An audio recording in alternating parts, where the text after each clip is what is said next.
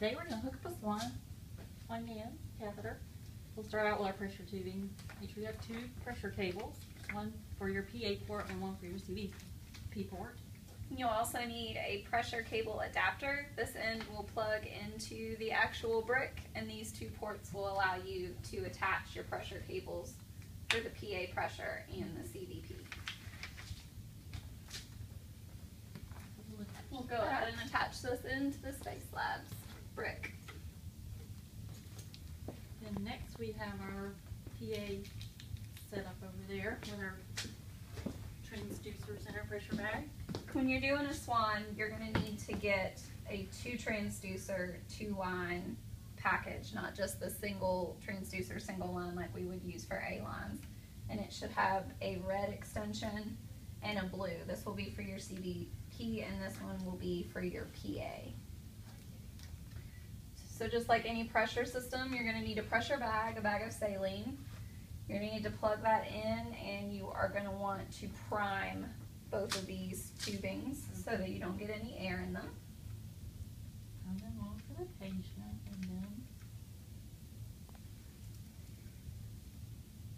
And pull the pigtail to flush them. we're gonna push them first. Not flushing, flushing. Okay. Once you've primed both of these, you want to make sure you keep the ends sterile. And you'll notice that on your tubings, you have two white hookup cables that you're going to use to attach to your pressure cables for the Space Lab monitor. And we'll hook those up now. Does it matter which cable goes where? Like Mhm. pressure cables? That one goes there.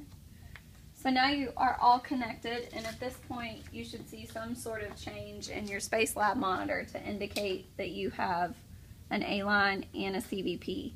You will need to change these labels under Select Label and change that to PA, and your CVP should come up automatically.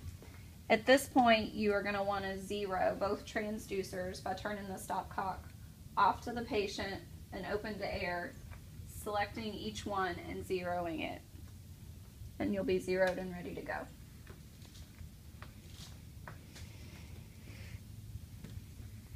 After you zero your transducers, you're going to need to hook up your cardiac output monitoring as well. This comes from a package in the supply room that says thermoset, and you'll need one of these. This is what it looks like out of the package. You'll also need a bag of D5, and this is what we use to inject for cardiac output measurements. So, in the same way you primed your other tubing, you are going to hook this one up to the proximal line or the CVP line, like so. And make sure all your connections are tight.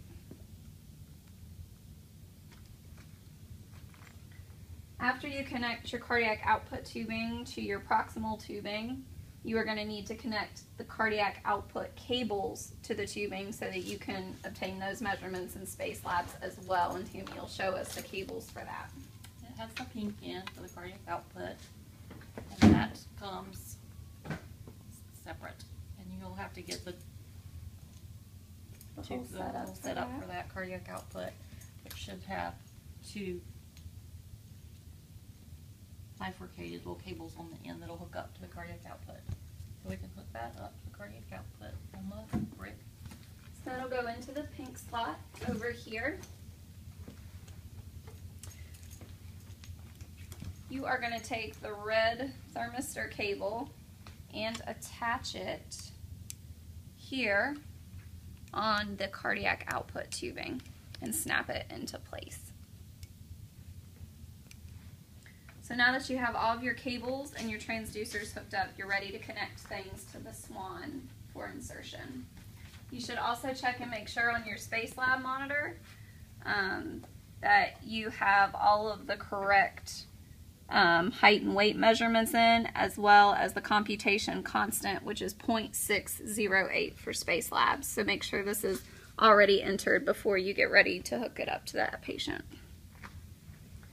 Tammy's gonna go over the swan. So we have our swan. The doctors put the swan in the patient. So we need to, he will have you, or he may let you do it, connect your CVP and your PA ports.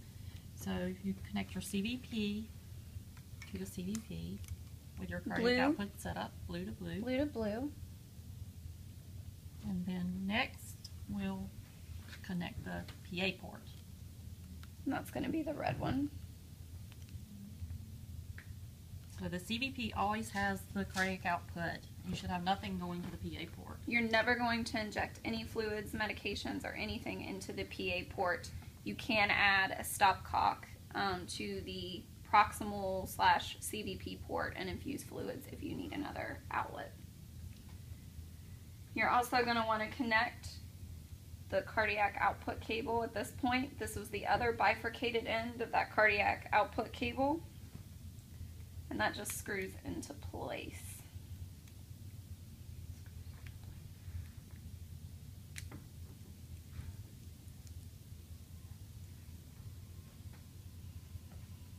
The only other remaining port you have is your balloon inflation port, and this is what you're going to use to obtain your wedge pressures. Um, you want to make sure that the balloon is not inflated before insertion, and the physician should test the balloon before he puts it in.